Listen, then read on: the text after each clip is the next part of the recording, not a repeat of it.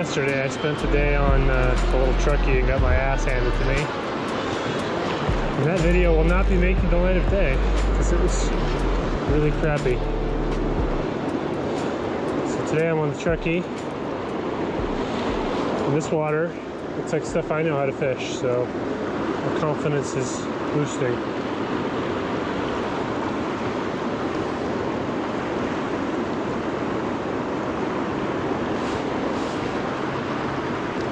Got a dink.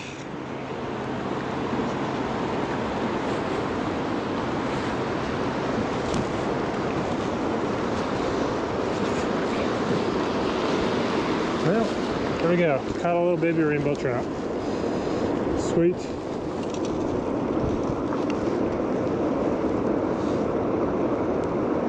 These fish know what's up. Okay.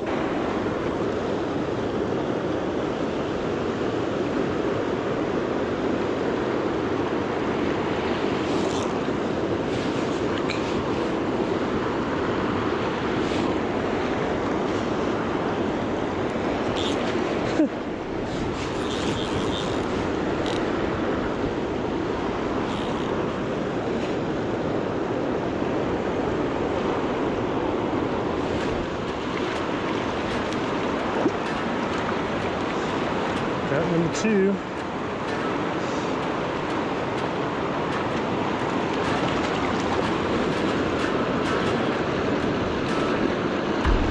This is a decent fish. Sick.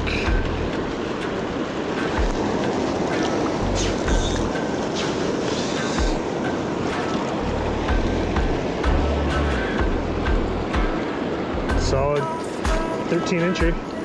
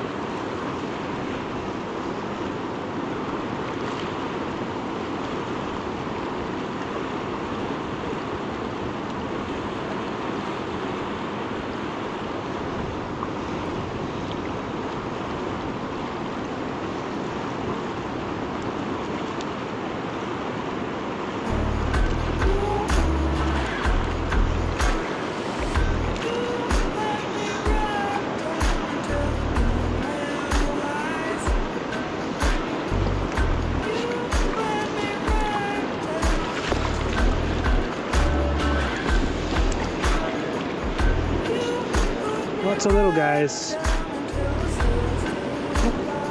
Beautiful.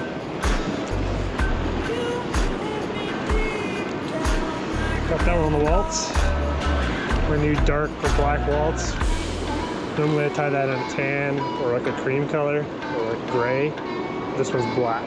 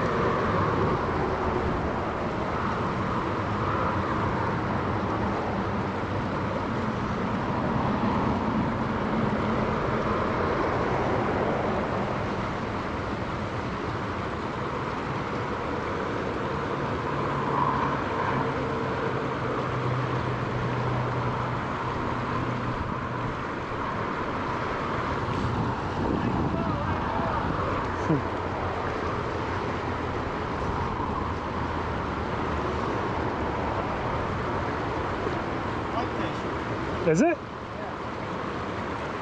Wow. Never seen one in person.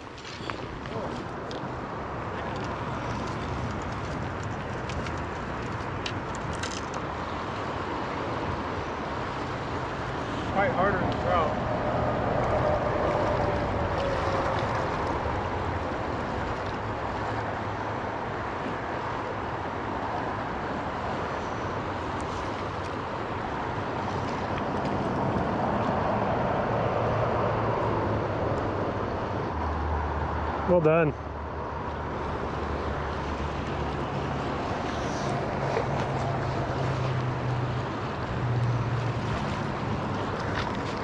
Wow.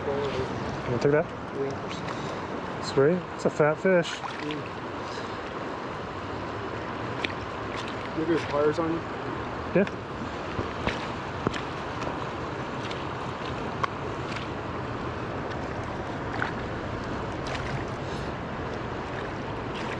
Hear they roll a lot. Yeah, they do.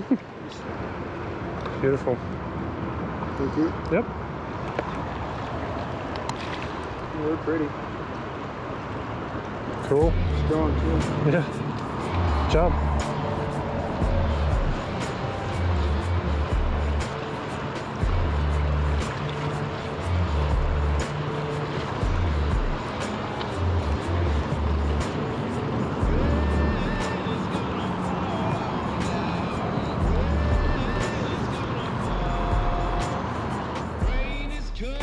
Hey everybody, thanks for watching.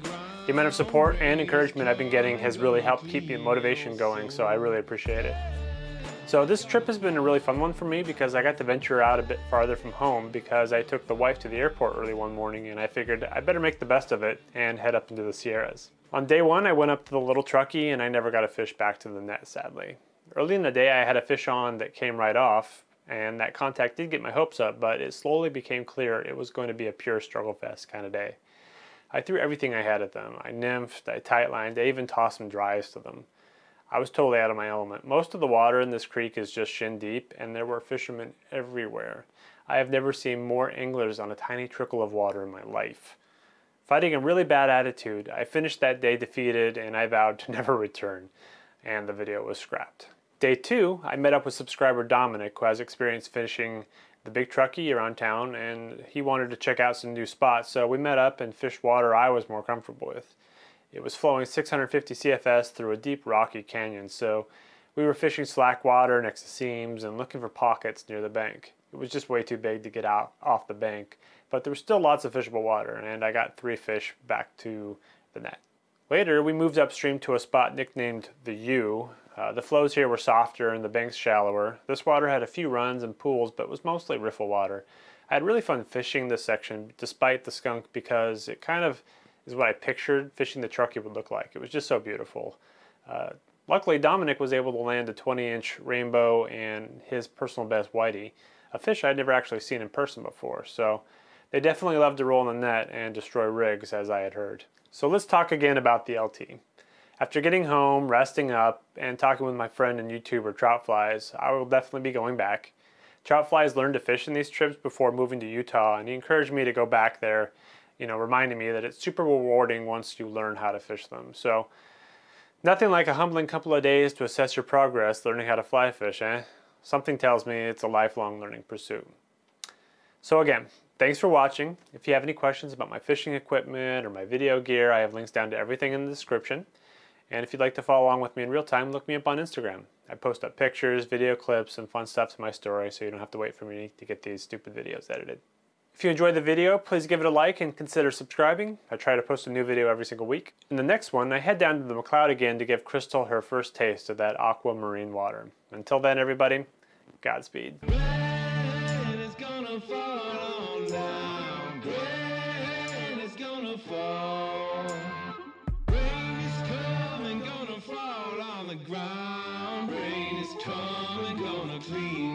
soul.